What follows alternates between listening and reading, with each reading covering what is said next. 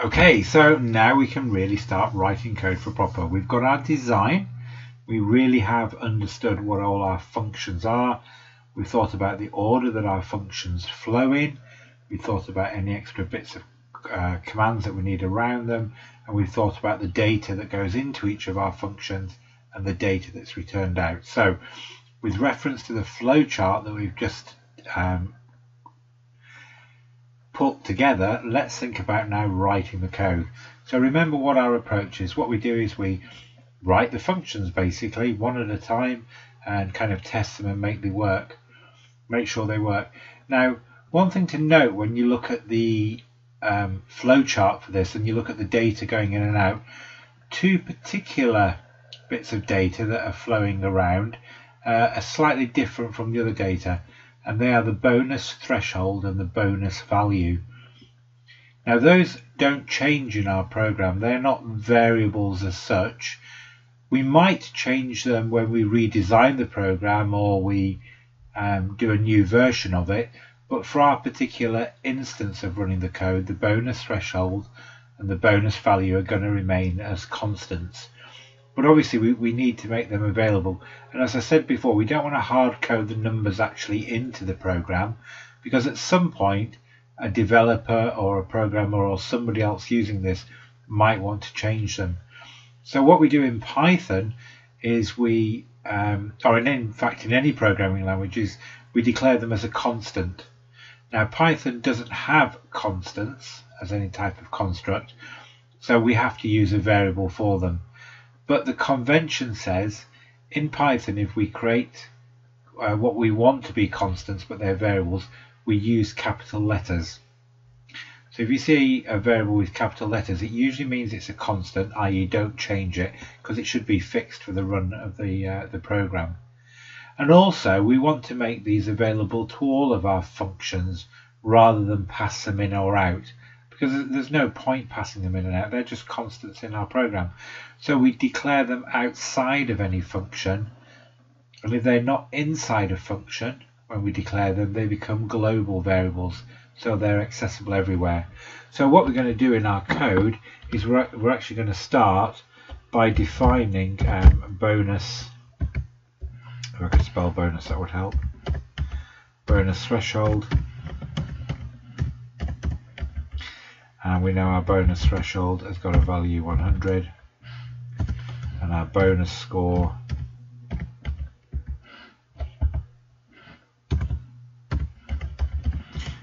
has got a value 10 so just to reiterate again we've written those in capitals and that's just a convention. It's not enforced by Python. It's a convention that says we want these to be constant so we're not going to change them you, you could do, your program could change them, that would just break convention. Wouldn't break any Python rules.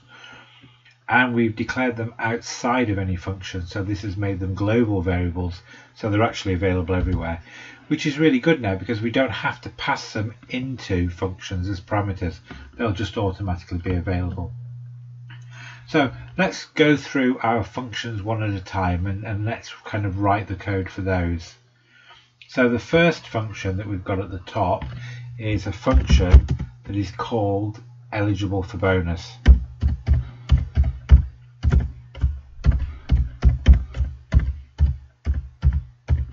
So here's our function eligible for bonus and if you look on the design what did this function need? It needed to know the score that a particular person got so it needs to know the score information and it needed to know the bonus threshold. Now, just as we've said, we don't need to actually pass that in because we've made that a global variable. So that's pretty straightforward. When we, had our, when we now think about what this function does, now in our case it's actually quite simple so I don't need to write it down. Um, it might be that you need to now do a separate design and think about flowcharts and information if it's a bit more complicated. In this particular case, it's pretty straightforward. So to know whether somebody is eligible for a bonus or not, what do we actually do? Well, we're just comparing their score to 100, aren't we? If they got more than the bonus threshold, then they're eligible for bonus. So the actual comparison that I need to do is if their score, we pass that in as a parameter, is greater than the bonus threshold.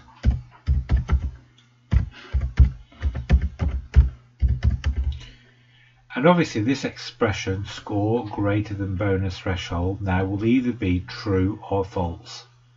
If the score is bigger than the bonus threshold, it'll be true. And if the score is less than the bonus threshold, it'll be false.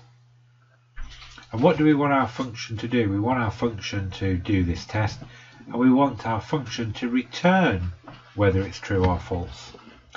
So what we could do is we could just say the result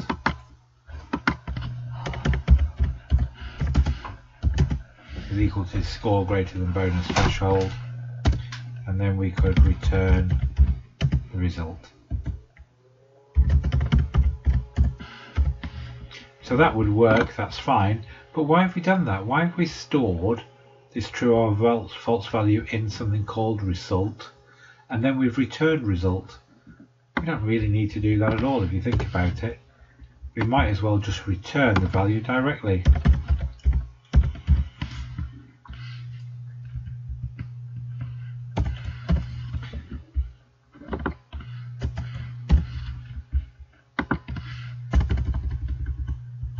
So there's our function. We're just going to return, and it'll be true or false if the score is bigger than bonus threshold, it'll return true, and if it's less than bonus threshold, it'll return false. So we think we've created our first function. But we do need to test that, so we'll just do a def main. We'll set the score up to be 110 and then we'll call our function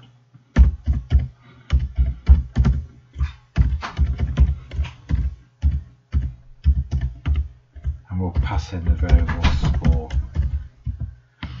Now we're calling a function, we're passing in the variable score and our function is returning whether this is true or false. Is it true or false? So we could put that into, or just to test it, we'll put that into our result for now so the return from the function, which is a boolean value true or false, is now returned into this variable called result, and we'll just print result.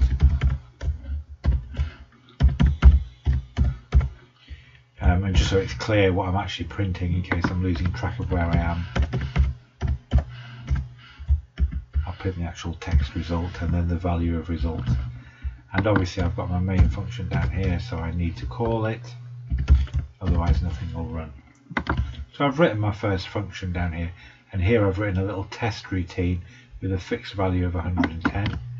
I ought to put an assignment statement in there. I'm just going to run that. There we go, and the result was true. That's what we expect. The score was bigger than 110. Just to test it now the other way, if I do the score to 90 and run that, and I get the result false, which is exactly what I expected. The value is less than uh, 100, it's 90. 90 is not greater than 100, so this is false, so it returns false and it prints false. So what I've done is I've written my first function, I've written a little test routine, and I'm pretty confident that that happened, that that's working fine, which is exactly how we should write code. Okay, so next I'll tackle the calculate shortfall function. If we look at that, what that needs, it needs a score in the bonus threshold again. Going in well, we don't need the bonus threshold because uh, that's a global variable. So I'll do a define for calculate shortfall. Calculate shortfall and I now know that just needs a score to do its calculation. I'll spell calculate a bit, uh, a bit more I've got a chance of remembering what it means, so calc shortfall. Now how do we calculate the shortfall? It's obviously the difference between the bonus threshold. So we'll call the variable in here shortfall. Here's the difference between the bonus threshold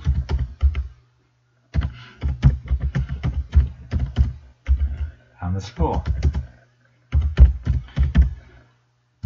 So that's the shortfall and we want our bit of function to return that value. So we say return shortfall. So let's see if our calc, oh, let's see if our def calc uh, shortfall function works. So we've got a score of 90. Uh, so the result this time I want to print, I want to call the function calc shortfall. So we've got a score of 90, so we know we're 10 short in this case, so this should give us a result of 10. So let's just run that. Yeah, gave me a result of 10, so that seems to work. If I had a score of 65, then I'm 35 short. So run that. Yeah, that's good. If I get a score of 110, the function, and my shortfall is minus 10, which if you think about it is right, you're 10 over, so you, you don't need that. Is that an issue? No, not really, because we're not going to we're not going to run this calc shortfall function if the score was over 100 anyway. Great, so that's a calc shortfall function. What about the add bonus? So def add bonus. What did the add bonus thing needed? It needed the score again and it needed to know what the bonus value was. Again, that's a global variable, so I don't need to worry about that now. And the new score is assign the value of the original score, which I've obviously passed in, plus bonus value.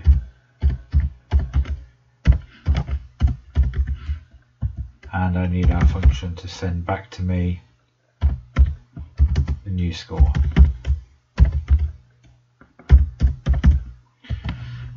And we check that that one works. So we'll start with the score being 110. I'm going to call add bonus, passing in the score and see what result I get. Oh, made an error there. See what my error is. Bonus value not defined. I reckon that's got to be a typo somewhere. B O N U S, yeah. B B U N B U N U S bonus bonus value.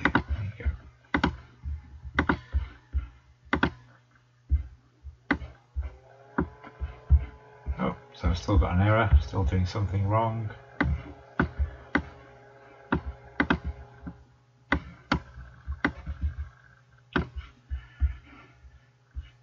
Bonus value is not defined. So I'm still doing something wrong here. Bonus, ah, bonus score. It's not bonus. Ah, that's right. I probably should have called it um, bonus value up here. Cause it's, it's up to me really. I'm going to change it up here as my global variable. Call it the bonus value. So it's the bonus value. I've not used that um, constant anywhere else, so I'm okay. On that bit of code. Here we go. So the result's 120. Yeah, it's added the bonus of 10 on there. Let's just check it with another value, 130. Run that bit of code.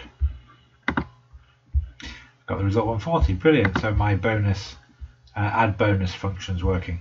So there you go. We've got three basic functions uh, already coded, and we've been changing our little test routine here from main to test them. So I'm pretty confident that they work already. So we've just got to continue with the rest of the function. Okay, so our next function is print name and score. So def print name and score. So my function is called print name and score. And what does that mean? Well, looking again at the design, it needs to know what the score is, and in this case, it needs to know what the name is of the person whose information we want to print. So we print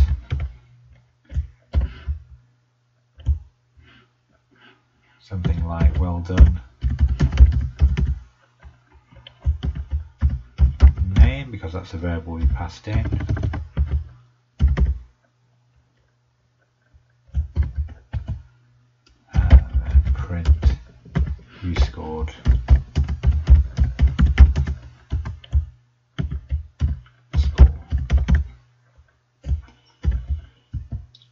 That's it. So this one hasn't got a return after it because we don't need to return anything. It just does that and prints it.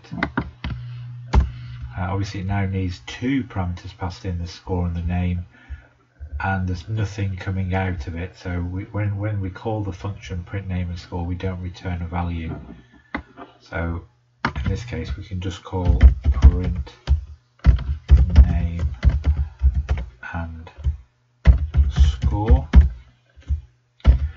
need to pass into two variables, the score. And we need to pass in the value um, something into name. So I can create a new variable up here called player1 and I'm going to just call that uh, Fred. So in here I'll pass in player1 which obviously passes in the contents of player1 which is a string Fred. So um, and obviously there's no point printing result this time because I have no result to print so I'll just comment uh, that one out with a hash at the front. Okay so run that one. Ah, print name and score. Gosh I'm getting bad at my typos here.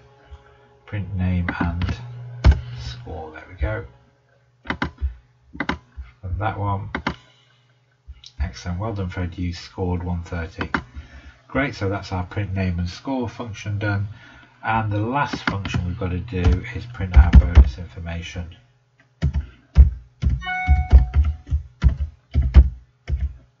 So we'll call it print bonus info. Look what that needed. It needed the score. It needed to know what the shortfall was.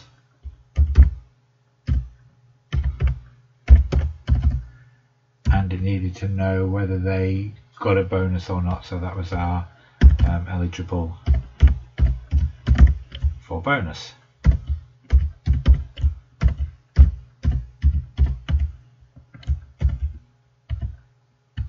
And what does this one do? Well, this one now, depending whether they were eligible for a bonus or not, needed to print different information. So we need to test that variable first of all, if eligible bonus. So if they were eligible for bonus, print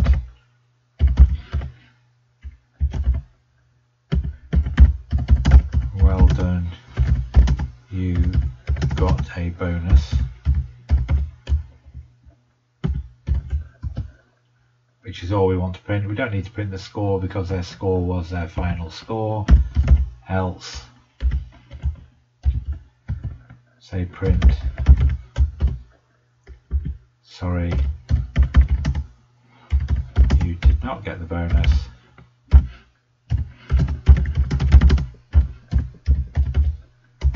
an exclamation mark, print. And then we need to tell them how short they were.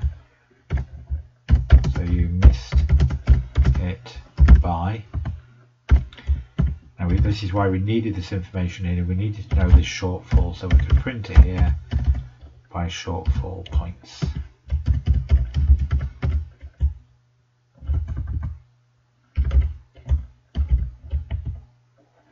That's it, and again it doesn't, doesn't return any information, it just gives us that, so this is our bonus information. Um, it actually, we, we did decide it was called print because it's actually printing the information, so I should call it print bonus information. So let's just see if we can do uh, that one. So it's print bonus information.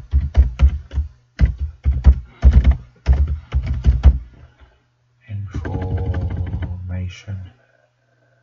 Oh no, info is what I called it. And what do I need to pass it in? Score 130. Uh, what the shortfall was. So I'm just going to put a number in here. I'm going to say the shortfall was 15. I don't need to actually go and calculate it. And whether they were eligible for a bonus. So I wanted to presume they weren't, so eligible for a bonus at this stage would have been false. So print bonus information, passing in the score which is 130, saying it was 15, so actually they weren't eligible for a bonus that would have been something like um, 85.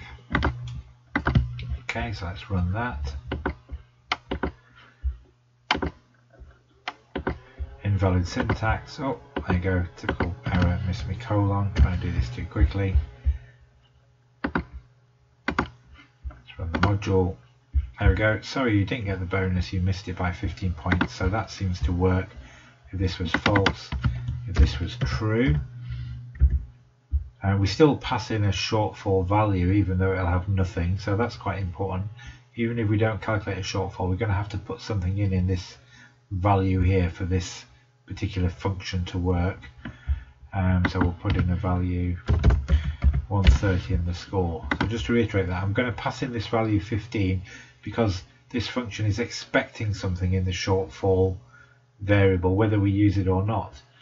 So when we've got a score of 130, if you look at the code, we won't actually calculate a shortfall, but I will have to put something in this variable for this function to work. So let's see what it does now.